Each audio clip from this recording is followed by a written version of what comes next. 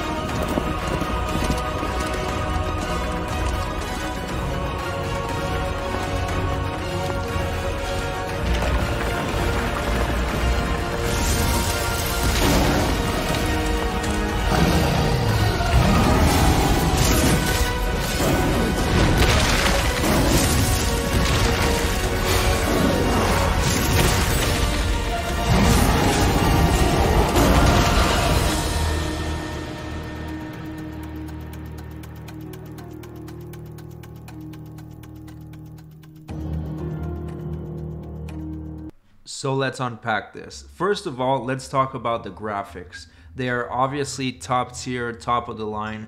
Everything looks fantastic. The lighting, the environment, and the fact that this is an open world, I think a lot of people will be drawn to this game.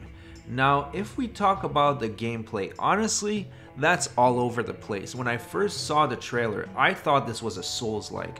As you can see, we have very Souls-like combat except with maybe a little bit more grandiose moves, but it looked very much like a Dark Souls 3 type of combat. As the trailer progresses, things become very, very different.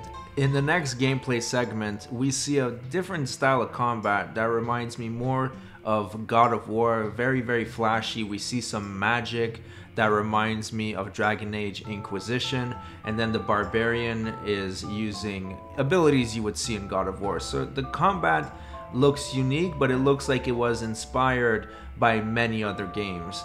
Now, where things take a turn for me is when they start showing the multiplayer combat. Personally, I'm not too crazy of games where you have like five or six people bashing at a huge boss over and over. That's not my thing. The game looked very promising when it was one player combat. But then again, maybe it's a MMO that you don't necessarily have to do raids with a team. You can do most of the game by yourself. I would really enjoy that, but then that defeats the purpose of an MMO in the first place. So then we have the fight with the dragon. Honestly, in my opinion, it doesn't seem too impressive. I don't know why, but just seeing 60 people wailing at a dragon, it doesn't really do it for me. I know graphically it looks really nice, but that's just not the type of gameplay I'm interested in. Now, the next part of the trailer is actually very interesting. This is where we see the chrono abilities, where you are able to stop time and also to rewind it. And this looks like it could add some very, very interesting gameplay mechanics if it's done properly. So overall, this game seems very interesting, seems very, very promising. It depends how much of the MMO aspects are in there for you. If you're there for that, if you're someone that loves World of Warcraft, then maybe this will be for you. I personally am very interested in the combat. It just depends how much MMO elements they shove down your throat. Now let's take a look at the website and let's see if we can find some more information on this game. It reads At first glance, Setera may appear as peaceful, beautiful land filled with nature. However, Setera is also now the frontier of the war against the void, which has been ongoing since the beginning of time. This land is filled with the dangers and chaos caused by twisted time and space and contradicting timelines. These same dangers provide countless mysteries and opportunities not afforded to any other world. Uncover the secrets behind Setera's timeline and find a way to save everyone, including yourself. Sounds like a very interesting plot line. Now, let's talk about the factions. So, here we have the Guardians, those who protect Setera under the guidance of the Great Ones. We have the Void, otherworldly invaders that reject the existence of life itself. We have the Broken, those whose bodies and minds have succumbed to void contamination.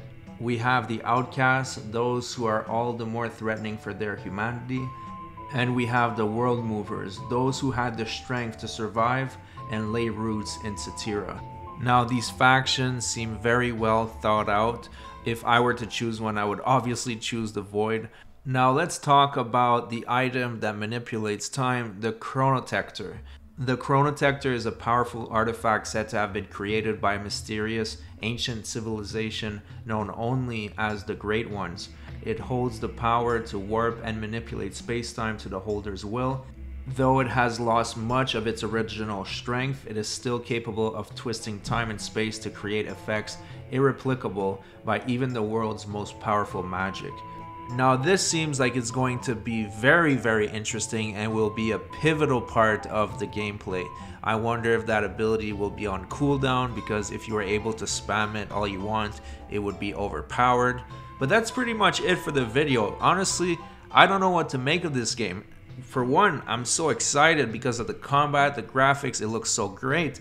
But it's an MMO, and that's really not my thing but hopefully it'll be able to cater to both crowds, the MMO lovers and the people that aren't too crazy about it, and be a solid game. I guess we'll have to see when it comes out or when we get more details. Thanks so much for watching everybody. If you enjoyed the video, put a thumbs up, and if you didn't, put a thumbs down, and I'll see you guys on the next video.